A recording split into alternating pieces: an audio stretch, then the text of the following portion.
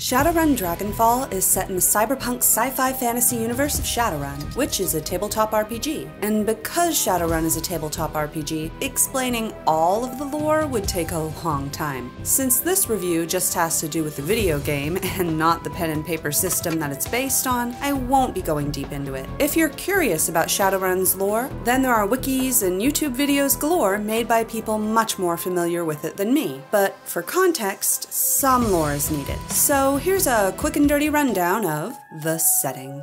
Magic in the universe waxes and wanes like the moon does. Earth is affected by this, just like everything else, and has gone through magical phases as a result. Our present real life Earth is akin to Shadowrun's non magical fifth world, called such because of Mayan calendar stuff and because it's the fifth recorded shift. But in the Shadowrun setting, they've gone past our mundane fifth world way of life. Their Earth isn't like our Earth any longer, because one day, in 2011, magic came back the Sixth World began. Once magic came back, it was momentous for several reasons, and one of the biggest was the return of mythical beings. Orcs, trolls, elves, and dwarves exist alongside humans in the Shadowrun setting, but these non-humans basically just popped into being from humans once the awakening happened. It was called unexplained genetic expression, which basically makes them mutants and a target for prejudice. Some people are also good at wielding magic and can become adepts, shamans, or mages. Meanwhile, tech kept developing. This is why there are also cyberpunk and general sci-fi elements in this fantasy setting. People get cyberware to enhance themselves, street drugs have become mechanized and can be slotted into cyberware for a high, escapism comes in the form of sims, which can be slotted to give alternate reality getaways, locks with normal keys are rare, but electronic locks are common, drone security is normal, hacking has become old hat, and decking is the new craze. And decking, for whatever reason, people do still code, but they also run around around as avatars in mazes and kind of play high tech laser tag. They shoot at the representations of programs instead of, you know, actually just coding for hours to get everything done. There are other changes too, such as genuine coffee becoming expensive and soycaf becoming standard. Not everything's different. For example, people still use elevators and vans, but obviously much has changed. On top of all of the mutations, tech, and magic, great dragons were hibernating, but now they're up. Many are running corporations as CEOs, and I think making dragons, billionaire CEOs is an interesting twist on the classic hoarding trait. With all of this going on, corporate espionage has become much harder, and shadowrunning, hiring mercenaries to do the shadowy business of corporate espionage, has become a profession. Your character in Dragonfall is a shadowrunner. Shadowrunners work as a team to infiltrate places, and then they handle whatever their employer wanted dead, stolen, sabotaged, spied on, or destroyed. It's not legal work in the setting, but it's still common. Employers can be anyone, from rival rival corporations, to resistance groups, to a random person. The gameplay. When you make your character, then you can choose from several different races and classes. It's highly customizable. Races come with unique benefits, and which one you choose will have a minor effect on the game's dialogue choices. Similarly, classes also come with unique skills, and which class you pick will also have a minor influence on the choices that you're given in the game. For example, I decided to play as an elven shaman. She would sometimes be able to reference her elven people or her own elfness in dialogue choices, but this barely affected my playthrough. Elves also get a charisma bonus, and shamans use charisma to cast, so that bonus was helpful too. As a shaman, she could summon spirits and use conjuring magic in battles, and in dialogue choices, she could sometimes read auras to gain additional hidden information. However, it's important to note that stat checks can happen on top of class checks. Occasionally, being a shaman wasn't enough. She also had to have a high enough willpower stat to pass a check. This means that choosing a class doesn't guarantee that you can always pass the dialogue options that become unlocked. Other classes are offered similar options. For instance, a Decker can't read auras, but they will often have the option to hack into something to gain additional information. They can also use their knowledge about decking to figure out a problem or mystery. However, these options aren't locked to the PC. If you have a present companion of the required class for a class check, then you can often have them pass the check. There are some rare instances when that's not possible when the PC is alone though. But while companions can help with class checks, they can't help with with stat or skill checks. It's important to remember that because skill and stat checks are more common than class based checks. For instance, straight up charisma checks are very common. There are also etiquette skills, such as knowing academic speech, and knowledge checks, such as how much you know about biotech. The list of what checks exist is long, and if your PC lacks the requirement, then the dialogue option just stays grayed out no matter which companions are with you. And sometimes that inability for them to help you makes sense, but sometimes it doesn't. It's a little annoying to have an option stay grayed out at points. For example, as a troll, Eiger ought to be pretty strong and Glory ought to know street speech since she spent a large portion of her time with street kids. Since they can help with class checks, but not these sorts of sensible checks, it seems extra weird. As for combat, it's turn based. How you can handle it varies. The companions all have their own fighting styles based on their classes, such as Glory being able to fight up close as a street samurai, but Blitz as a squishy decker, staying safest at a distance. You can only bring three other characters besides your PC, and who you bring is up to you. Mercenaries can be hired to allow for additional team customization, but they do cost, and the standard team is pretty good and also has side quests and some depth to it. And you can't take all of them at once either. So you can play around with who you take with you, but of course your character has to go along on every mission, so which class you choose for your PC will have the greatest influence on your combat, and you should pick something that you really like for your playstyle. After a class is chosen, then additional options still exist for your PC. You could use different types of weapons and do either close up or ranged combat. You could be tanky. You could fire off offensive spells or focus on boosting your party with spells such as haste. You could also decide to get either spiritual or mechanical companions to fight with you and only specialize in that aspect. It's all very customizable, but at the same point, certain classes will give you certain benefits, so you can ad hoc something if you want to go super custom, but generally picking a class and then trying to stick with what's great with that class will work the best. For example, if you tried to have shaman skills on a rigger,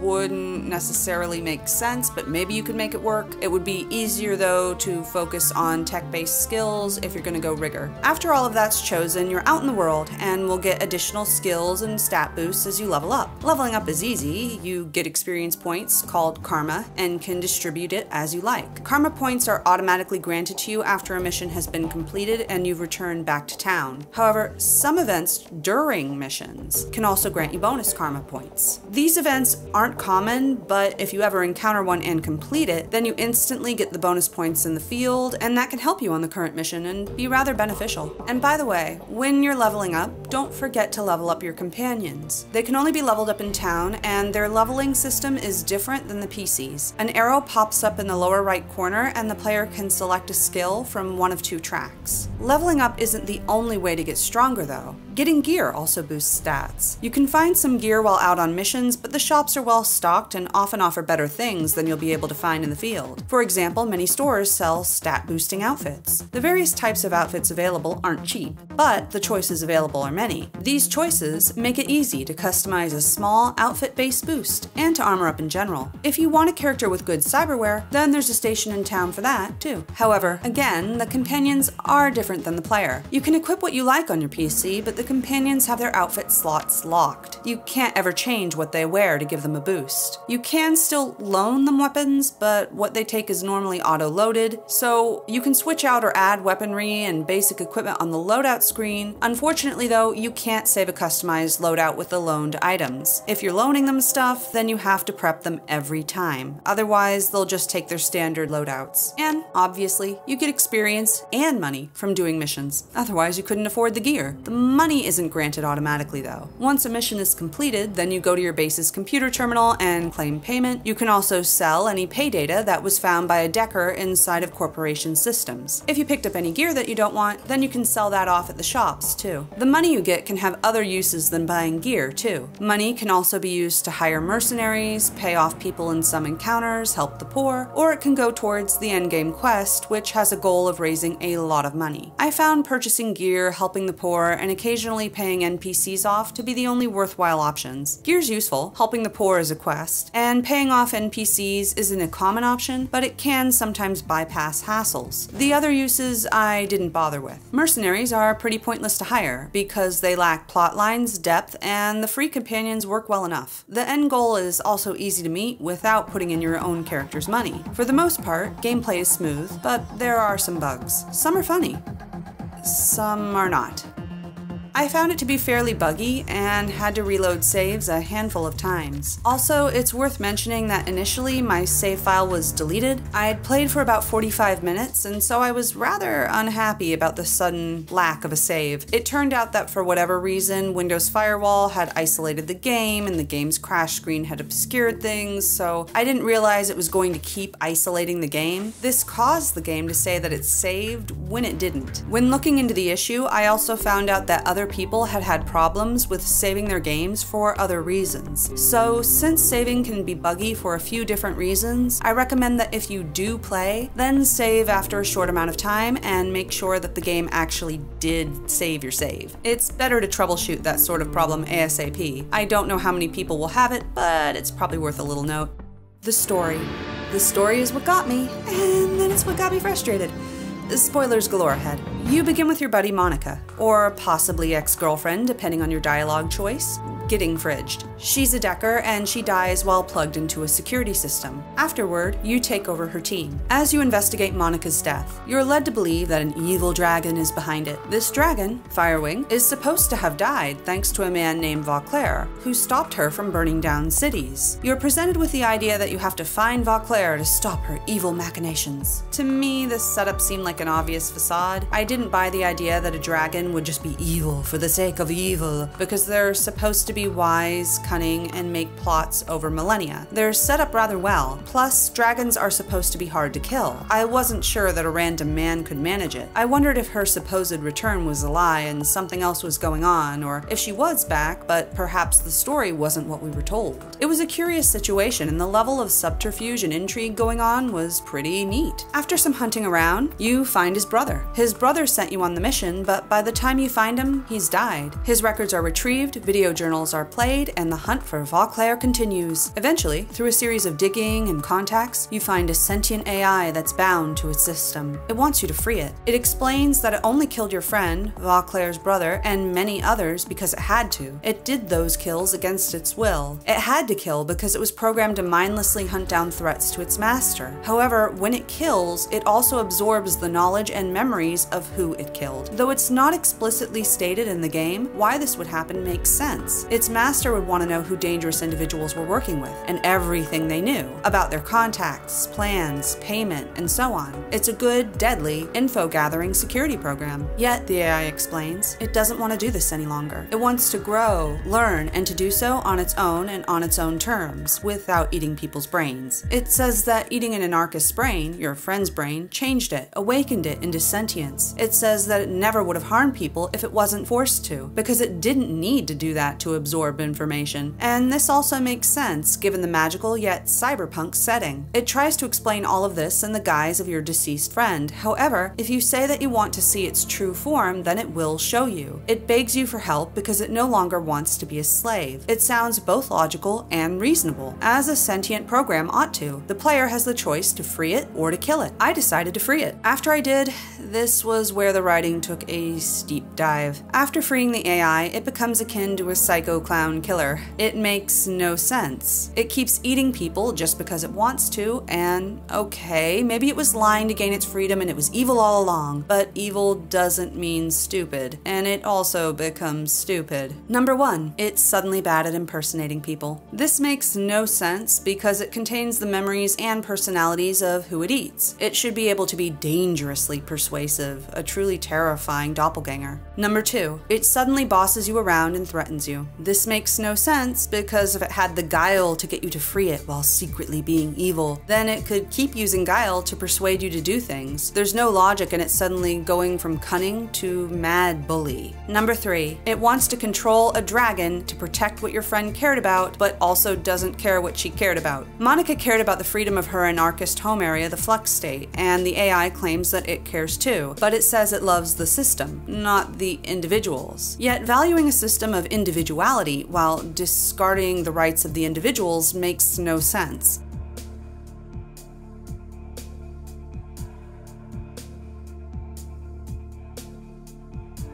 Plus, it said that Monika's views influenced it, it thought as she did, and she didn't separate the system from the people. She saw the whole as being made up of its parts, inseparable. Number 4. It's powerless. The AI says it needs your help, and only your help, to get a dragon under its control. This makes no sense since realistically, it's loose on the Matrix, which is a worldwide computer network. It could do whatever it wanted without your aid. There would be countless drones, nukes, and other things tied to it, such as people's com links. Even if it couldn't get direct access, it could threaten someone else who could, and then storm the place with strike teams to take the trapped dragon, Firewing, by force, and so on. I mean, I could go on and on about how nerfed the AI's intelligence suddenly became, all just to make it seem crazy and evil. It seemed like a different character from the logical one met in the base, and no longer like a hyper-intelligent AI at all. Plus, if you refuse to give it what it wants, the dragon, Firewing, then it even sends you a threatening, petty video call. In it, it's mocking your dead friend and saying that it'll see you soon. This pettiness also makes no sense on several levels, and it's not resolved in the game. This is because the game ends shortly afterward and the AI has nothing to do with the ending, which is also odd given its supposed scariness and being loose. You'd think that would get a line in the ending. The writing didn't just tank with the AI though, it failed in several other regards too. What it had been building up wound up being disappointing in several ways. For instance, a gigantic dragon was taken out of a dangerous radioactive area and placed into a basement at a mansion within driving distance of a city, then held prisoner. No one noticed the trans transport, Shadowrunners are everywhere and data is always for sale. A gigantic dragon's body would stand out in transport. Firewing's also placed into a former military base's basement, but how she was lowered down there is left as a big question mark. The player also found out that Firewing's motivation for killing many in the past was due to her being nature loving. She woke up from her hibernation, saw cities instead of plants, and went into a rage. However, this tantrum makes no sense because dragons are supposed to be cunning, wise, and incredibly long lived. They plan for millennia. They don't act without reason or hastily. Yet she just assumed that everything green was gone forever and went rage monster. She didn't even fly around to check. What makes this even worse is that if she had, she could have found out that there were still forests in the setting. This also does mean a lot to her because you can calm her down by mentioning that there are forests, which she didn't bother to look at. Besides all of that, for all she knows, the greenery disappeared a long time ago due to a meteor strike, or biological disease, or a mystery creature, or whatever, and the people she saw just built afterward. She was asleep for a long time, after all, assuming that everything's destroyed and and she's looking at the destroyers was just immature and hasty. Her following that up with a tantrum made her seem even more childish and stupid to boot. Her motivation wasn't a great reveal. Since it had been a mystery for hours in the game, finding it out was pretty disappointing. As a result of things like that, chasing down the answers had been interesting, but getting them in the last part of the game was not. The endings also had many issues and were also very poor. They were all over the moral map and not in a good way. There are three possible endings. Ending number one Free the Dragon, Firewing. If you free Firewing, then Dragonkind continues to dominate humanity in a dystopian way. You're revealed to have been working for another dragon all along, Lofwyr, and lectured about how you could never understand their cunning, which really doesn't make sense because dragons don't seem cunning in Dragonfall. Firewing seemed dumb, and if you know what happens in ending number two, then so does Lofwyr. Ending number two side with Vauclair, and let Firewing become patient zero for a fatal bioweapon. If you choose to kill all dragons, then you bring about the apocalypse. Dragons are a part of the mystical cycle of the universe, and killing them breaks the universal balance, which lets in nightmare horrors from beyond. In other words, if you clicked another dialogue option and sided with Vauclair, then the cunning reptile, who was supposedly controlling your moves as if you were his pawn, would be dead along with his entire species. Lof where could have gone, whoops, I genocided myself. That ease of genocide really doesn't make the good ending seem like a wise, chess-like move on an ancient dragon's part. Instead, Lofwyr seems like he's a gambling idiot who used his own life and the lives of his entire kind as an unnecessary wager. After all, if he's so smart, then the stakes should never become so high. Genocide for the dragon should never have been on the table. He should have been able to rescue rescue Firewing or Killer long before Vauclair developed a bioweapon to slaughter Dragonkind. Plus, the idea that Lofwyr would bet all of Dragonkind's existence on a ragtag team of Shadowrunners seems way too high risk, and way too full of faith in the goodness of some random strangers. It all coming down to one dialogue choice and not being that hard to achieve, just deciding not to fight Vauclair also made this ending seem strange. After all, dragons are ancient and powerful, yet all the player has to do is decide not to fight a scientist and his team of mercenaries. Ending number three give the dragon, Firewing, to the sentient AI, Apex. If you freed the AI, then this ending is available, but it has its own series of problems. If you give the dragon to the AI, then it suddenly stops being killer clown like and gets serious about protecting the flux state, which really, really makes no sense at all because that makes both the AI's motivations and sanity keep flip flopping. Because when you first find the AI and free it, then it's logical. Then it reboots, wants your help with Firewing, and is suddenly nasty about it. It acts like a killer clown and threatens you. If you refuse to keep aiding it, then it stays that way and seems to to stop caring entirely about the flux state. It becomes petty, narrow minded, and yet it could drone or missile strike you right away and doesn't. Yet, if you do help it more, then it's logical again and it fights to preserve metahuman freedoms in the flux state and also starts negotiating with the dragons and is good. And the whole thing is just bizarrely bad and random for a supposedly logical program. Also, the AI being an unstable, evil psycho was just odd in context because in context, Shadowrun is also a world setting wherein things can awaken and prejudice is bad. As such, the AI seemed to be on a similar moral level as the Dragon Firewing did. They both seem to be trapped individuals with their own feelings, thoughts, and desires. They're both former killers, but they're both also trapped, and both say they have no desire to keep killing if they're freed. Yet, freeing the dragon is good, and freeing the AI makes it seem less like an AI and more like the killer clown from it. That twist felt dumb and made aiding it further, giving Firewing to it, seem like an obviously bad idea. That said, I think I can see what the writers were going for. I think I can see why it was framed as a good thing to free the dragon and a bad thing to free a sentient AI. I just don't think that the idea was executed well. Here's what I think they were going for. Basically, faith in the universe is framed as being important for life. Dragons have an important part in the mystical, spiritual cycle of the universe. That's why everything falls apart if they're gone. So, faith in the cycle is important and mixed intricately in with life itself. An AI wouldn't have the same spiritual link. For that reason, I think the two were turned into the classic spirit versus science trope or faith versus machine. The dragon represented life force, and the machine represented something removed from the natural cycle, something cold, alien dangerous, and antithetical to life. Something that could never awaken, worse than undead, but it could seem awaken just to try to get you. There's some evidence and buildup for this sort of monster in the setting, too. In Shadowrun, cybernetics can strip essence and permanently disconnect the soul from the body. The idea is that if the body becomes too mechanical, then the soul doesn't recognize it anymore. However, in the game, this process is described as less of a disconnection and more as a permanent shredding of the soul itself itself. Taken in that light, it makes sense that a machine could never awaken, never have a soul, and should be killed as a monstrosity if it shows any semblance of individualism or intelligence, because it's a cold, hollow, worse than undead thing with no tie to the cycle. It has no capability to coexist with life. Anything spiritual, anything alive, would and should shun it entirely, just as a soul would avoid a too cybernetic body. The problem was that this wasn't what the writing showed showed, instead of coldly cunning. The AI became illogical, an idiotic and powerless thing if the player disobeyed it. Yet if the player obeyed it, then it was smart enough and dedicated enough to hold its own against dragons. Dragons who,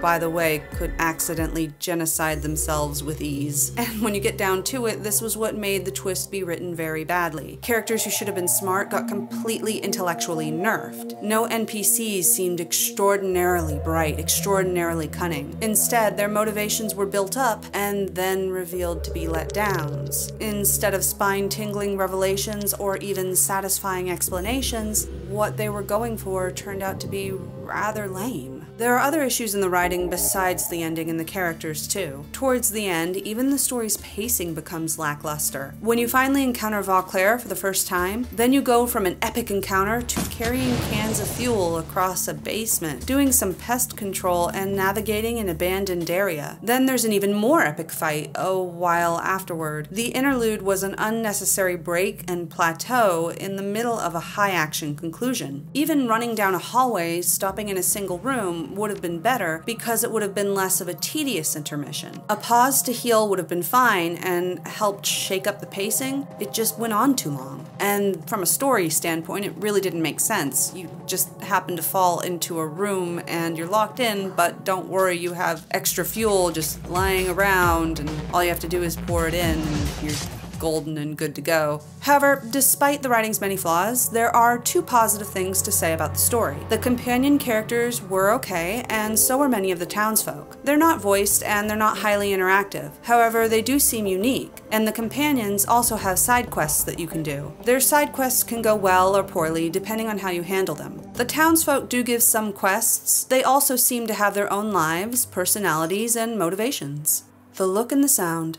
Zooming in is best because otherwise it's possible to see other sections of the map that you shouldn't be able to see. This also kind of ruins immersion, and being zoomed out is the default view. Still, it's fun to explore the setting, and it looks nice enough when you do zoom in. There's a decent amount of detail to see. Meanwhile, the music blends in but fits the setting. It provides a nice ambience. Final thoughts. The gameplay is okay despite the occasional annoying bug. The world also looks good and sounds good, but the key flaw is in the writing. The story and the powerful forces behind the scenes are awfully written. There are enough interesting threads in the tale that the game seems compelling for about two thirds of its length, but then the ending becomes a jumbled, tangled, and incoherent mess as these threads get crisscrossed and set on fire. It makes getting to that point feel disappointing, as if the prior investigations were worthless. Shadowrun Dragonfall was originally meant to be an expansion for Shadowrun Returns, but it was later released as a standalone game. I played Shadowrun Returns a long time ago and don't remember it. Shadowrun Hong Kong came out after Dragonfall and similarly is available as a standalone game. However, Hong Kong also comes with an editor that lets players create their own Shadowrun campaigns and share them with others. As a result of these other story options out there, I really don't recommend Dragonfall. There's likely a campaign with a better story out there, which would have the same gameplay, look, and sound. So I'll probably replay the original and review it, and give Shadowrun Hong Kong a try too, but I don't ever want to play Dragonfall again due to its poor writing in the latter part of the game. It built up tons of things well, but then basically made it all fall down, which felt utterly unsatisfying. It's also not a short play. It took me about 32 hours to beat it at a leisurely pace and to do everything, side quests included. Online estimates range from around 21, rush, to 43, completionist. Some people seem to have beaten it faster, but I think you'd have to skip a lot of content to do so and rush past all of the dialogue. That would defeat the point of playing it over another Shadowrun based campaign anyway.